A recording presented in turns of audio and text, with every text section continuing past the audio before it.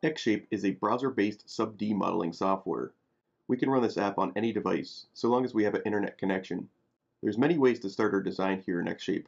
We can start with a solid and sculpt that solid, or start with a surface.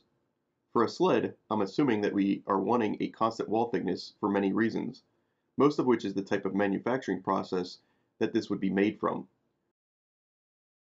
So I insert my general pictures and now a surface primitive that I'll use to sculpt my shape. And it is literally a sculpting process, resizing, reshaping to get the shape I'm after.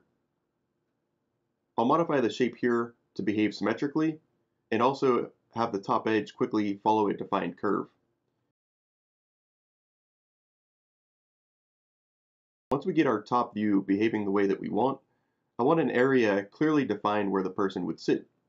So I'll filter on face selection and I'll just easily drag these faces to the desired depth. As you can see, modifying and adapting the shape is as easy as dragging on the robot, but we can follow specific curves or orientation if necessary. The outer loop, I want to have a bit more control, so I can select and subdivide its faces further, so to get exactly the shape I want in that area.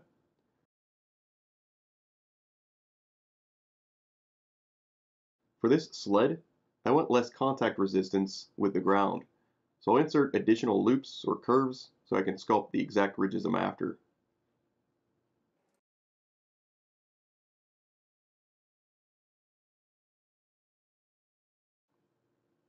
Xshape can make precise shapes and also describe exact dimensions. In this case, we want to ensure the bounding box of the sled is precisely described.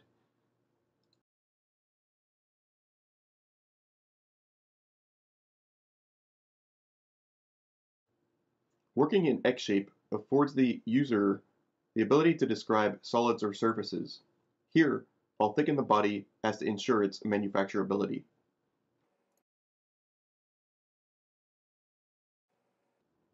Applying a material is very quick, and we can get a direct readout of the shape's engineering characteristics.